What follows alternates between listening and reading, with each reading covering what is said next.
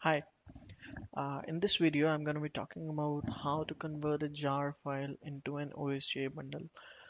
Well, what differentiates an OSGI bundle from a normal jar file is the headers that are present in its manifest file, uh, specifically bundle symbolic name, bundle versioning. So these headers they are read by an OSGI container and that is how a bundle is deployed on the OSGI container itself. So we can use the command line utility jar itself if we want to create an OSGI bundle from a jar file, giving it a manifest file having particular bundle headers. So let's just first take a look at the manifest file itself. So the headers that are present in our manifest file are related to the bundle that uh, we are going to create uh, using a jar file. Many of these headers are self-explanatory. I'm just going to be discussing a couple of them.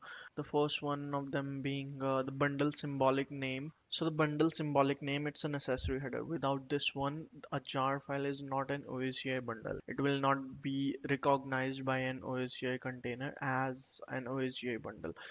So what the symbolic name is, whatever text you type in here for the bundle symbolic name, this is going to be showing as this bundle's name wherever you are listing these uh, bundles, uh, be it uh, Apache Felix Gogo shell or in my case AEM's uh, Felix console. So the name entry on uh, Felix console is the symbolic name of each and every bundle that there is present the export package entry tells which Java packages I want to export out of my bundle. Inside the package that I'm exporting, I just happen to have a bean. It does not use anything fancy apart from what's there in Java standard edition. So that's why I don't have any import package. But if your jar imports anything other than Java SE classes, then those entries need to be listed here in import package header the last entry that I'm going to be discussing is a bundle class path.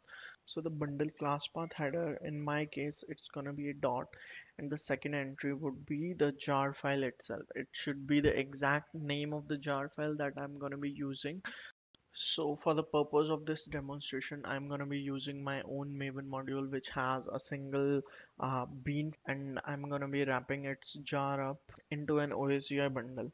So how I'm going to do this is uh, first I'm going to create a jar file uh, from this module using Maven and then I'm going to wrap that jar file into an OSGI bundle so that I can deploy that bundle on an OSGI container. So let's first create a jar file itself. In the terminal here, I'm on this directory jar. Uh, this is the same directory so now I'm going to package it uh, using Maven.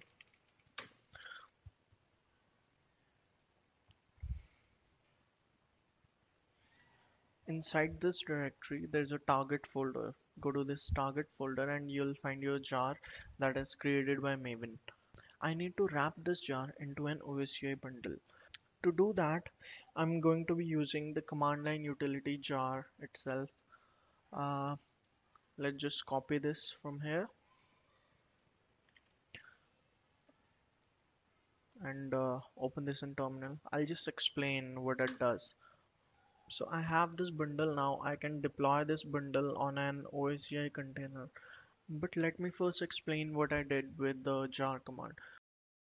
So jar is name of the command line utility that I'm using. Very self-explanatory. I'm passing some flags to jar C means compress and uh, its opposite is X. So if I type in jar uh, X then it means I'm going to extract a jar file. V is for verbose mode for that if there are any error while creating this bundle it will show on the terminal. F is for the file name and M is uh, for the manifest file. So I pass in name of the file that is going to be created first and then I pass in the manifest file that I'm using. And in the end I'm passing the jar file itself which is going to be included in my in my bundle. So this command will create uh, this OSGI bundle. So now let's try to deploy this bundle on an OSGI container. Uh, I went to Felix console. I clicked on install. Now I'm choosing a file. Uh, it's inside target.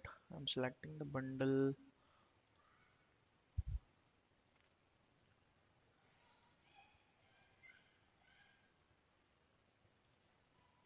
So now it's active. Okay.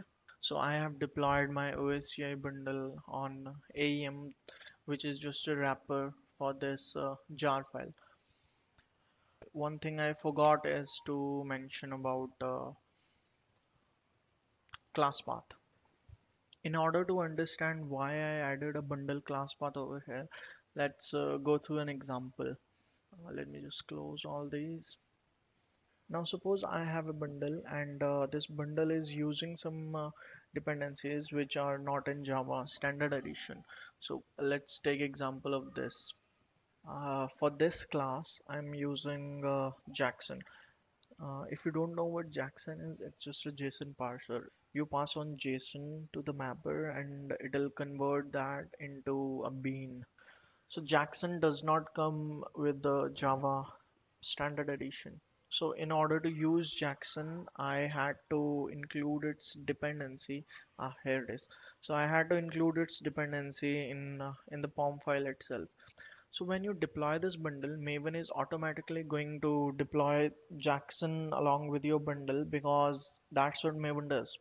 But that'll mean deploying multiple jars. One jar for your project, uh, the other one for Jackson if I was not using Maven to deploy my packages, then I would have to manually install those two different jar files into the OSGI container separately. What if I have all the dependencies that my project needs embedded within its own bundle?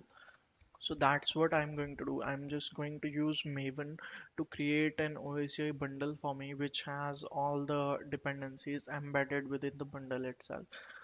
For that, I'm going to have to go to the Maven bundle plugin configuration. And within the Maven bundle plugin configuration, I'm going to pass on embed dependencies over here. Now I'll deploy this package within uh, AEM.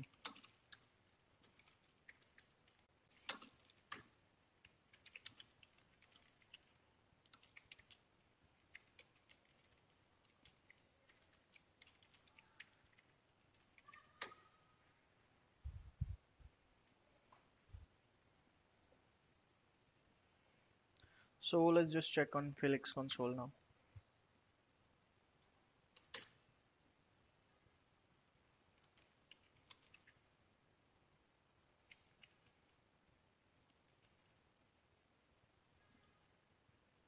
So here is my deployed uh, project over here and uh, in the OSGI bundle I can see that within the bundle class path there are two entries Jackson core and Jackson mapper that's what I added in uh, in the dependencies for Maven. So that means that my OSGI bundle has two separate jar files uh, and this bundle is acting up as a wrapper for them. What that also means is that OSGI is not aware that uh, these jar files are there and uh, thus these uh, jar files are private to my own uh, own OSGI bundle. And that is what the significance of this bundle class path is. It is used to wrap up all the jar files that my bundle is going to need. Let me also show you the bundle on uh, my file system itself. So within this jar target is the bundle. And here is my jar file. And uh, within the manifest.mf I have the bundle class path mentioning that there's a jar file which needs to be added to the class path for this uh, for this bundle. And that is what it means. That's all for this video. Smash that like button if you liked it. Uh, dislike it if you disliked it. And please put on a comment. Uh, thanks for watching